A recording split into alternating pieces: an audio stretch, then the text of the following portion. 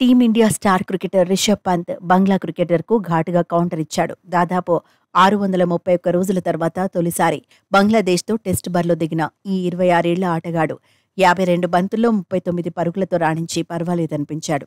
చెన్నై వేదికగా గురువారం మొదలైన టెస్టులో రోహిత్ శర్మ ఆరు శుభ్మన్ గిల్ సున్నా విరాట్ కోహ్లీ ఆరు పరుగులతో పూర్తిగా విఫలమయ్యారు.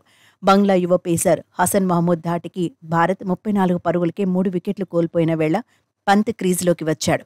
యువ ఓపెనర్ యశస్వి జైస్వాల్తో కలిసి ఇన్నింగ్స్ గాడిన పెట్టే ప్రయత్నం చేశాడు.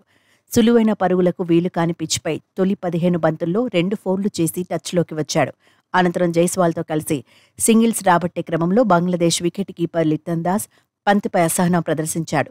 ఇందుకు పంత్ కూడా లిట్టన్ దాస్కు ఘాటుగా బదులిచ్చాడు.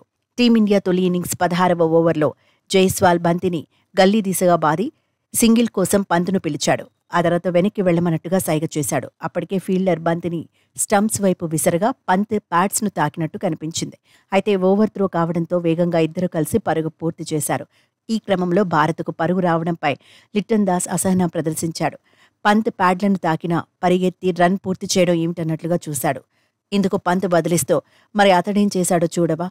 అతడు నన్ను ఎందుకు కొడుతున్నాడని ఫీల్డర్ను ఉద్దేశించి లిట్టన్ దాస్తో అన్నాడు. ఇందుకు స్పందనగా అతడు కొట్టాలి కాబట్టి లిట్టన్ దాస్ పేర్కొనగా అందుకే నేను పరుగు తీయాలి కాబట్టి తీస్తున్నా అని పంత్ కౌంటర్ ఇచ్చాడు. ఇందుకు సంబంధించిన వీడియో వైరల్ అవుతోంది.